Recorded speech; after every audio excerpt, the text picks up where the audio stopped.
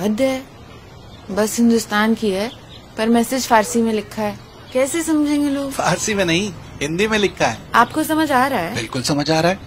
Corona से जंग अभी जारी है। मास्क ठीक से पहनना सबकी ज़िम्मेदारी है।